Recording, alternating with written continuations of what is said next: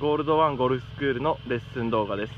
えー今日はですねあのグリーン周りの本当ね30ヤード以内ぐらいのアプローチのブラッシングですね。このバランスを使ってボールの下の芝をこする。これがブラッシングの意味なんですけれどもこのブラッシングでのミス、えー、3大ミスですね。これをちょっと紹介したいと思います。ミスする時の原因。バックスイングして曲げてた右肘を伸ばしてしまう、ね、これを伸ばしてしまう。突き刺さります。はいそれと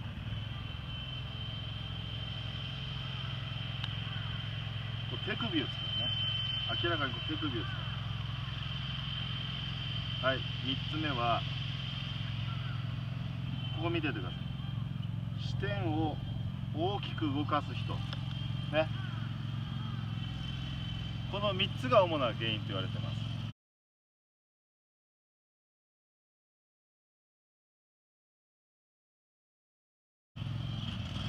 はい注意するとき必ず右肘を中に入れて構えてください、ね、アドレスでグリップは左太ももの内側です。シャフトまっすぐです。で左体重。ボールは右目で上から見るとこう見るんじゃないですね。はいこの時に右肘をつって構える。これを伸ばさないで打ちます。ね。はいそれと構えた時のこの手首の内側そしてこのグリップでできた三角形。これを崩しません。これ崩さないために振るためにはもう一つ注意すること。ターナムをしっかり動かしてください。スターナムをしっかり動かす。これ動かさないで止まると手首が入りますからはいこれをね崩しません。フォローまで。はい3つ目。ね先ほどのスターナムですけれども実際このクラブに感性を与えるのはこれ。胸のこのスターナムを右に左に動かすパターンの時言いましたね。これなんです。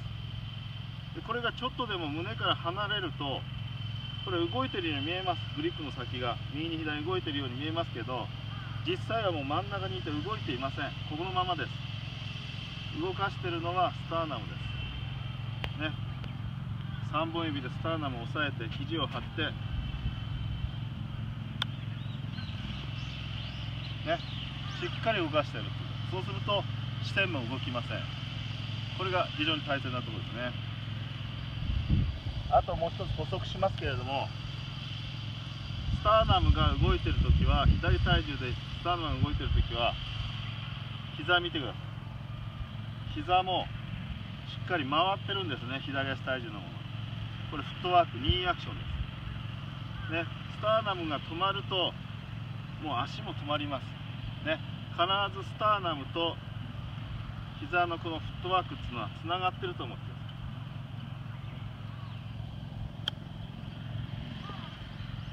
すねしっかり動いてますね。はいこの点注意することですね。あとこのブラッシングっていうのはほとんど90%も右手の動きです。左手は右肘曲がってますんでこの左手も曲げて構えます。ね。主な動きは右手であるっていうこと。ね。しっかりボールの下をイーブンペースでハンドファーストにならないようにね。1対1の振り幅が振ることが大切です、ね、皆さんもこの3つのことに気をつけて、えー、アプローチの上達に励んでください。あのー、ショットじゃないんでこれはもうほとんど胸の下でまっすぐ引いてまっすぐで結構だと思います。このような感じですね。まあ、実際には緩やかなアークだけど自分の中でまっすぐいてまっすぐで結構です。はい。あのま、っすぐ引くんで、えー、低くインサイドで引くのはダメです。ねこれフック回転になっちゃいますから。バックスイングはこのように時計の底辺のようにこういう形ですね。その時気をつけることをはい構えてバックスイングします。じゃあ7時の位置8時でいく。8時。はい上げてみて。体の正面向いてみて。その時に体の正面にフェースがいるっていうこと。